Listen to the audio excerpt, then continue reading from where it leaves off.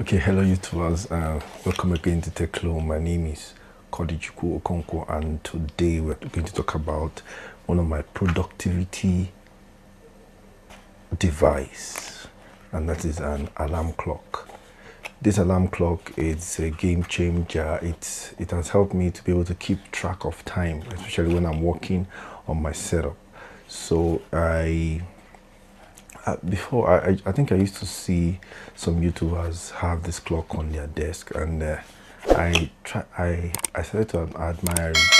I just liked the looks of the clock, but actually, when I got the clock, I discovered it was more than a clock. It was just a very important productive or productivity device.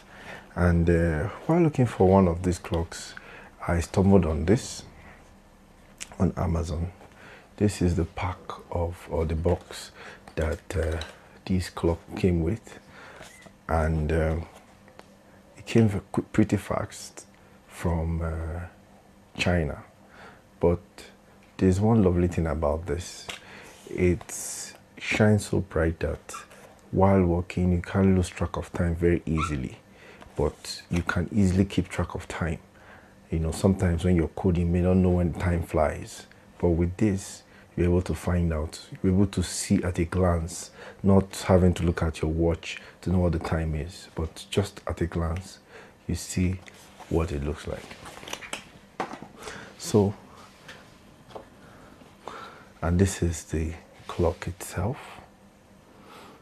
It's quite uh, small but just to show you what it looks like you can see it can even shine out through the lights.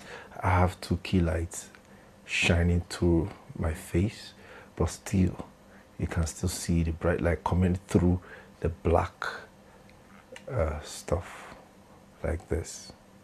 So it's quite a sharp and um, uh, nice tool to have Okay, so um, we're going to have a closer look at this and um, we'll be able to see more about it. Now you can see what the pack looks like. That's the GH0712L. I think that might be the model number and there's a picture of a child sleeping.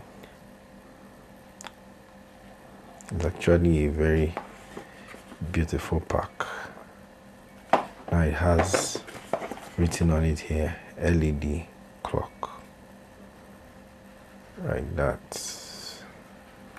Such a beautiful pack and then the pack aside then this is the device itself here let me put the pack at the back for contrast. So this is the device in my hand. Here.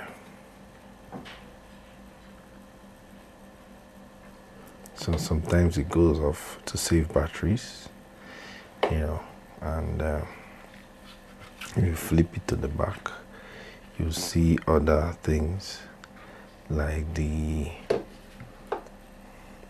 the buttons here that's the down button up button snooze light and snooze button the mode button and alarm. Then of course these are the speaker grills for the alarm. Then when you open it it's a full look at the back. So it has a a portion for the batteries. So if I open it you can see it, contains triple A batteries right there. Three triple A batteries. That's what it takes. Actually the work of the battery is to keep it on or keep it keeping time.